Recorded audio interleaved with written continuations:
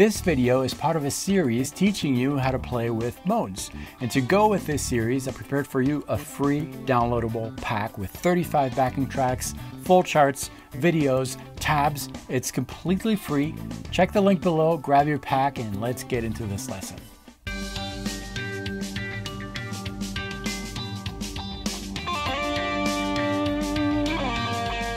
We are in part six of our series on playing with modes, and today is all about the Phrygian mode, which follows the previous video, which was about the Lydian mode.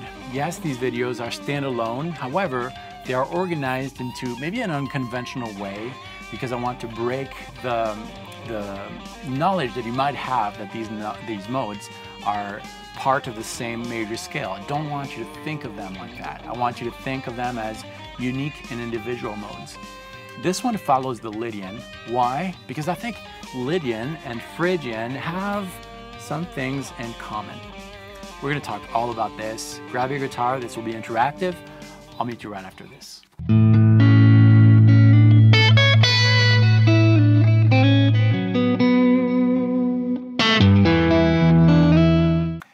My name is David Wallimann. Welcome to the channel, which is about helping guitar players throughout the world find their voice and apply it on their instrument. This is the series about playing with modes. Phrygian is a minor mode. Why? Because it has a minor third. The third, the third note, the third interval of any scale will determine if the scale you're using is part of the major family or the minor family.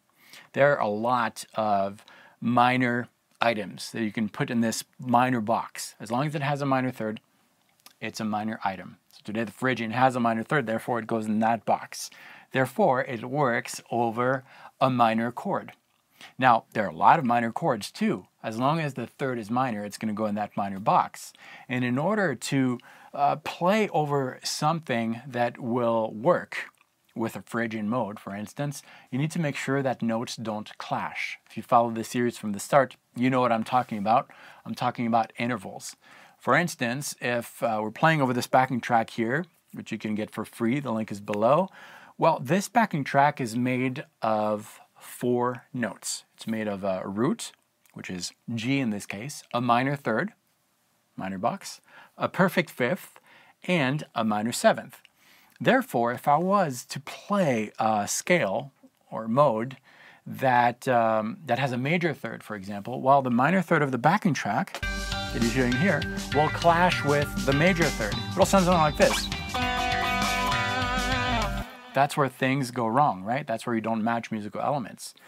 The, the idea here is that because this backing track is made of the following four notes, one or root, minor third, fifth, and minor seventh, um, the, the Phrygian mode, the formula of the Phrygian mode also has a root, obviously, a minor third, a perfect fifth, and a minor seventh. So it's going to work over this. There are multiple scales that will work over this backing track made of the four notes. As long as you have the one, minor three, five, and minor seven in the scale that you're using, it will work over this track. That explains why you've heard this before if you started watching from the start. We use the same exact backing track for the Dorian mode, and the Aeolian mode because those two modes also have a 1, minor 3, 5, and minor 7.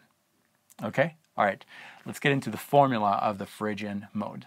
Now, as you know, the formula is the blueprint of a scale. That's what tells you that this particular scale will go over this particular chord or series of chords, right?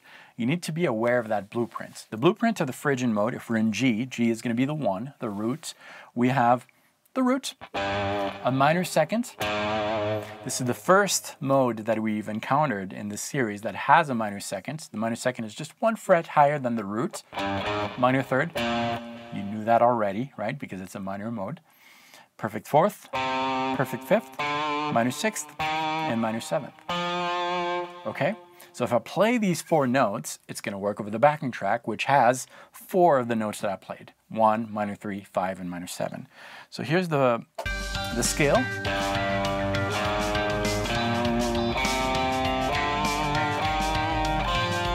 seven notes.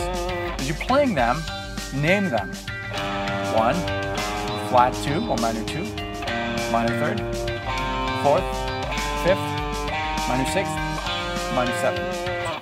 Being aware of the name of the interval you're playing is really important because intervals is are, are what brings um, the the feeling in music. That's uh, a note by itself is just a note. Now, if you play that note in relation to something else, it becomes something that gives the emotional value to a musical piece you're hearing. And if you can associate mentally different feelings, different flavors, colors, whatever you want to do to, to make it clearer in your mind, if you can associate those things with the intervals, then you'll be more in control of your music.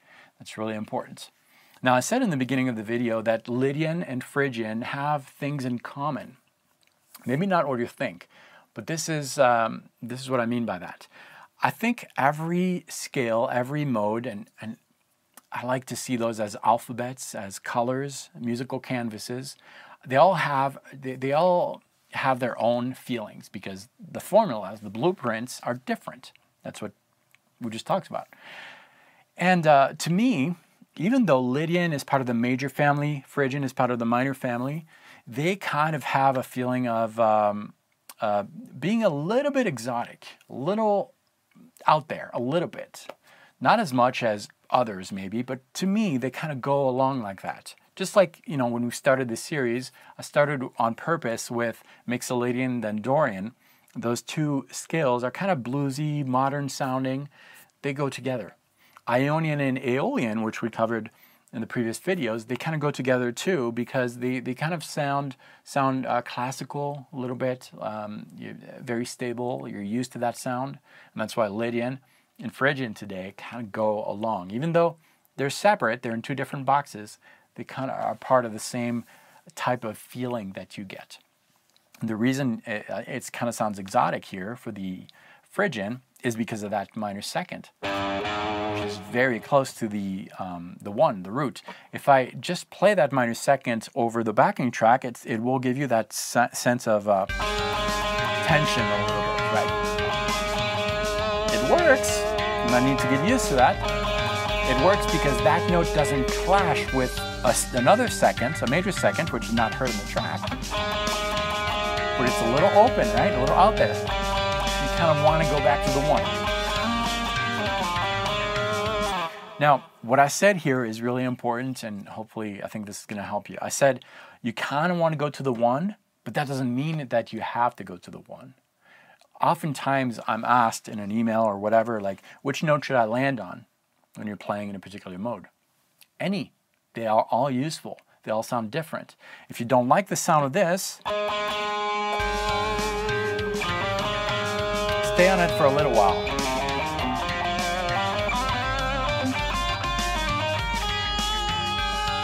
until your ear gets used to it, then you can make a, a good decision as to do I want to use this note or not. All right, so just like we did for the Dorian and Aeolian, we can also associate a minor pentatonic with this Phrygian mode. Why? Because we find within the formula, the blueprint of the, the, the Phrygian mode, a hidden minor pentatonic. A minor pentatonic is made of a 1, flat 3, 4, 5, flat 7. A Phrygian mode is made of a 1, minor second, flat 3, 4, 5, minor 6, minor 7. The, the intervals that I gave um, in a loud voice were the notes of the minor pentatonic scale. So that means that I could play minor pentatonic here. All my minor pentatonic licks would work in a Phrygian context.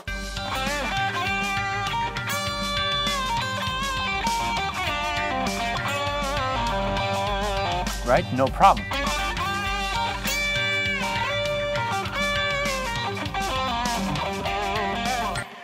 But that's not super flavorful. As a matter of fact, most players use the minor pentatonic scale. It sounds awesome, but it's not as flavorful, as uh, targeted as the full mode is. But there's an easy fix to that. If you're not comfortable phrasing with modes, if whenever you have to improvise with modes, you go back maybe to the three note per string scale, which was me for a long time, and I almost had two types of phrasing. I had the pentatonic, which I was expressive and, and I felt comf- comfortable really telling my story with that. And had a lot of feel to it. But as soon as it came to phrasing modally, it was like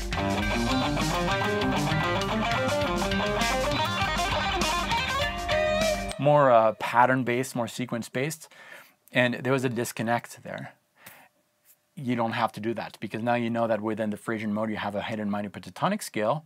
That means that you can still uh, build your musical improvisation with all the the nuances and, and the expression of the minor pentatonic scale, you, you are just two notes away from phrasing modally. Just learn these two notes within the context of your minor pentatonic scale.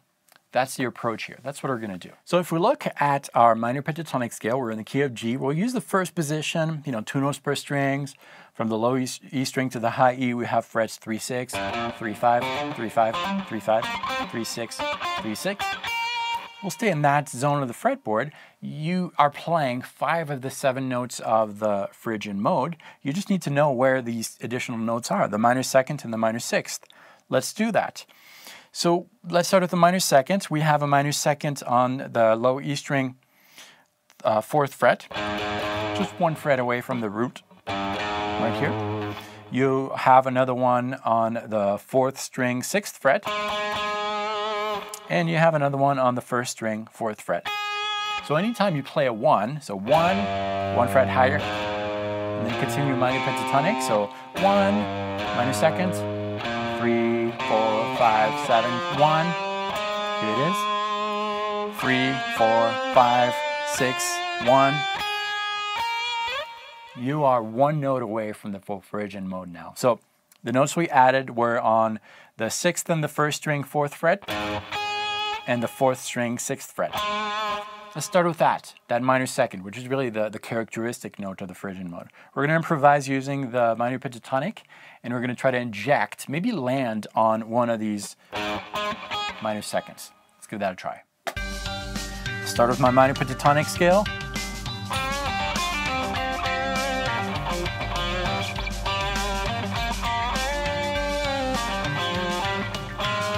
Added one of those minor seconds, and then back to the minor pentatonic.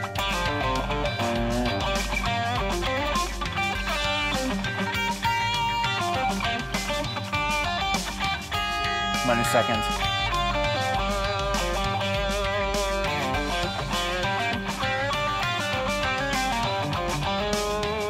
That already sounds very Phrygian There's only one note to add. You inject that note into your, your, your phrases, you'll sound fully Dorian, that's the minor sixth. The minor sixth within that zone of the fretboard is found on the, well, you just, whenever you play the five, one fret higher. So you got one, minor three, four, five, one fret higher seven, one, three, four, five, one fret higher. Seven, one, three. So what we did here is play that minor six on the fifth string, sixth fret, and second string, fourth fret. We can do the same thing. We'll base this on the minor pentatonic scale and then inject, maybe land on one of those minor sixth. Minor pentatonic,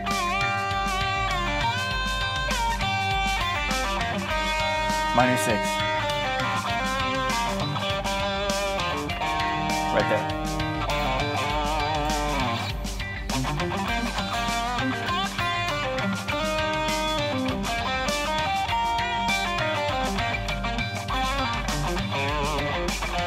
And then you add that minor seconds too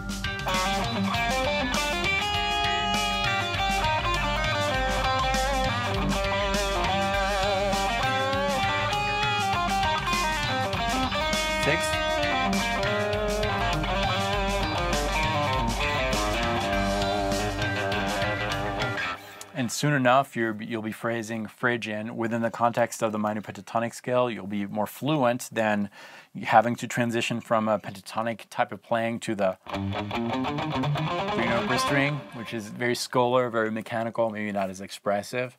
It's got its use, but, but that's what I would suggest. I've got one more tip for you, and that's to think in terms of relative arpeggios. For a second, we're going to go back to the, the birth of these modes. We are seeing these modes, these scales, as unique and individual scales, right? That's what we've been doing on this channel for a long time. But for a second, we need to consider that these modes originally were all extracted from a common scale, the major scale, the Ionian mode. Ionian major, same thing. if you play the Ionian mode or the major scale all together, well, you'll have the major scale, especially if you play it with um, a constant uh, note on the bottom that is attracting all the other notes, right? Um, if you play that same major scale from the second note of the major scale, and that second note becomes the, the root, the note that attracts everything else, you'll be in a Dorian context. If you do that from the third note, you'll be in a Phrygian context. And then Lydian, Mixolydian, Aeolian, Locrian. All these modes follow each other. And you know by now six of them. Uh, they have a particular order. Ionian, which we already studied. Dorian, studied that one. Phrygian, that's today's lesson. Lydian, we studied that last time. We're going to focus on that Lydian. So, because of the order of these notes, that means that Lydian comes right after Phrygian. Ionian, Dorian, Phrygian, Lydian. The second note of Phrygian is the first note of Lydian. Now, I want you to understand that even though we're starting the Phrygian from the second note, does it sound Lydian? It depends. If we're playing over this backing track, no, because this backing track is built on G minor. So even if I play uh, one fret higher, which is A flat, A flat Lydian, looking at my guitar, I might be thinking, oh, that's Lydian. Now close your eyes for a second. Does that, what does that sound like? Something. What about, what about this? Sounded pretty much the same, right? Well, they sound the same because I was playing over the same exact backing track. Everything I was playing was attracted to the same track. And when you were closing your eyes, if you did, Um, uh, one time I was playing in that Lydian position. The other time in the, the Phrygian position. But I was playing the same notes, right? Just visually, I was thinking Lydian, but it, it sounded the same. Okay? That said, we are to play within the Lydian um, mode, the relative Lydian. We're going to build an arpeggio here.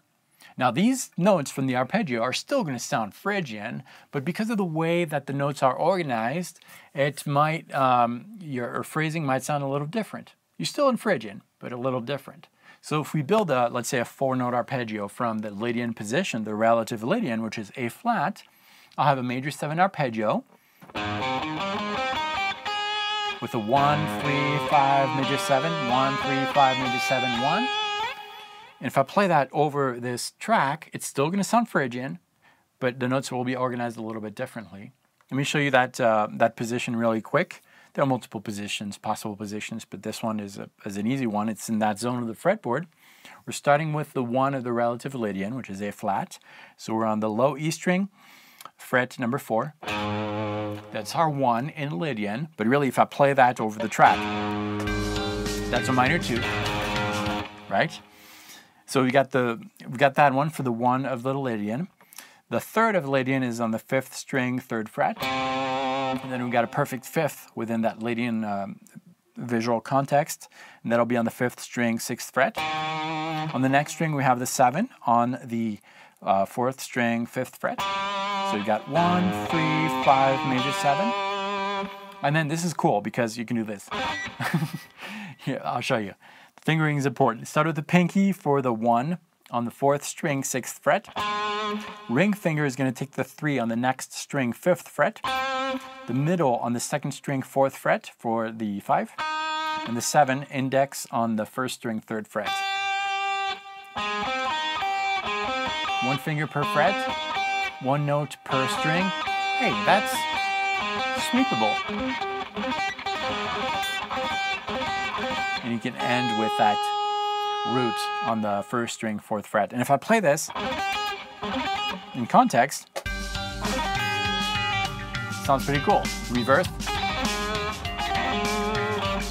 So now you can inject that idea into your pentatonic with the additional minor second, minor sixth.